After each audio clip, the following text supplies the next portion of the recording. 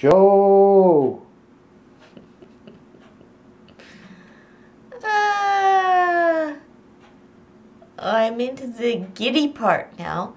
This is Friday, August 19th. September. It's Friday, September 19th. Apparently, I lost a month. And we've been working very hard today. We didn't get mad at each other today. We had a few tiffs yesterday, but we seem to be straightening it out. Um, I won't even let him go to the bathroom without me now. I'm so in love with him. what am I going to do when he goes back to work? Anyway, we are moving along. The promos look really sharp. Tomorrow's Al- Alan's going to build the uh, whole movie thing for the two showings. And I'm getting the tickets ready tonight. And the certificates will be sent for printing tomorrow so we can divide up the money and put the certificates in some envelopes. And to me, uh, I'm so worried about forgetting people's names. People that I have met now three or four times. So bear with me.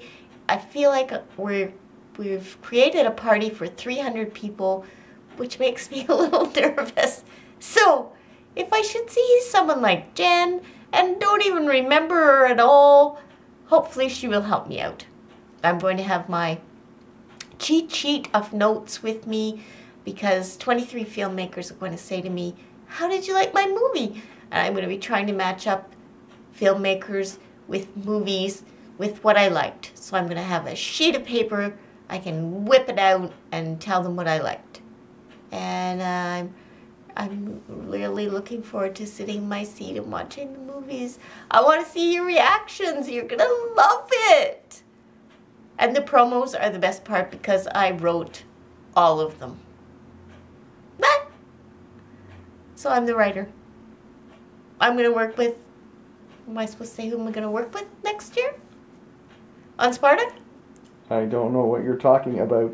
I'm going to work with someone making the promos. I'm going to write the scripts for the guy filming the promos next oh, year. oh, I guess we should keep that a secret. Okay. We don't know who all those people are yet. It won't be Alan. And that's the only task I'll have for Sparta. So whoever's helping him, all you six people, have to move in here. I'm going to move out for the last week. and you guys are going to be lying on the carpet having forgotten your own name. That's it, that's all. I'm putting Alan to bed now because I have two more hours of work to do. Wave goodbye. Oh wait, a wave like the queen. She's gonna pass out. Pass